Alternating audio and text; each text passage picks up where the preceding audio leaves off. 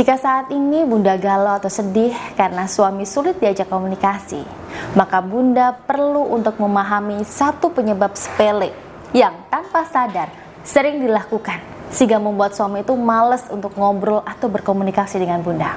Nah, satu penyebab sepelenya itu apa sih? Tonton video saya ini sampai selesai ya.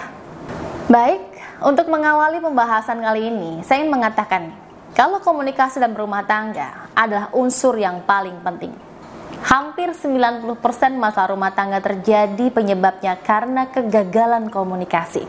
Meskipun demikian, fakta membuktikan jika banyak pasangan suami dan istri itu kurang memahami hal ini, sehingga mereka terkesan menyepelekan komunikasi ini. Beberapa klien yang datang pada saya karena suaminya selingkuh, hampir 95% komunikasi dengan suaminya tidak berjalan dengan baik.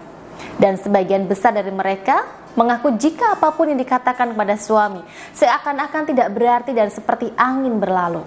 Kemudian ada juga yang mengatakan jika sering kali hal yang mereka obrolkan justru menjadi bahan pertengkaran mereka. Nah, pengalaman-pengalaman seperti ini menandakan jika kualitas komunikasi dalam rumah tangga mereka itu buruk, sehingga mengakibatkan berbagai masalah dalam rumah tangga. Baik itu perselingkuhan, suami yang cuek, dan emosional, serta masalah lainnya.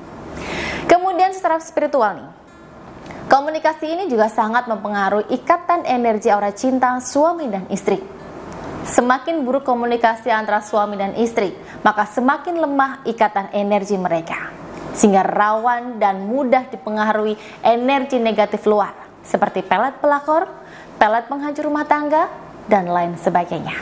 Nah, Hal yang terkadang dianggap sepele, tapi ternyata bisa menjadi penyebab kegagalan komunikasi dalam rumah tangga, dan bahkan hingga suami itu tidak mau komunikasi dengan istrinya.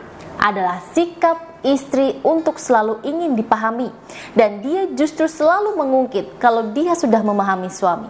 Contohnya seperti ini: misalnya, suatu ketika suami itu pulang telat karena urusan kerja, padahal hari itu adalah ulang tahun istri.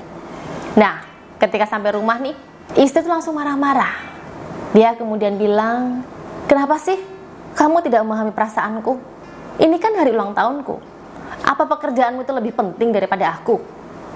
Padahal saat ulang tahunmu itu aku rela loh tidak bekerja hanya untuk membuat surprise untuk kamu.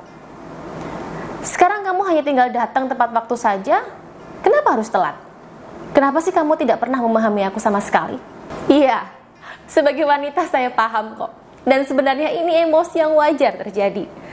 Tapi bagi suami, sikap ini menunjukkan kalau sahabat tidak ikhlas dan tidak tulus melakukan sesuatu kepada suami. Suami selalu merasa dituntut untuk memahami bunda secara tulus. Sedangkan bunda selalu menunjukkan kalau bunda itu tidak tulus untuk memahaminya.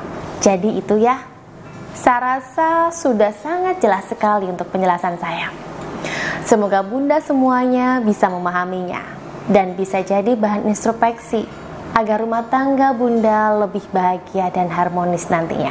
Dan jika saat ini Bunda ada yang mengalami masalah cinta atau rumah tangga dan butuh untuk diselesaikan secara cepat, maka silahkan ceritakan dan konsultasikan dengan Sal melalui WhatsApp di nomor ini.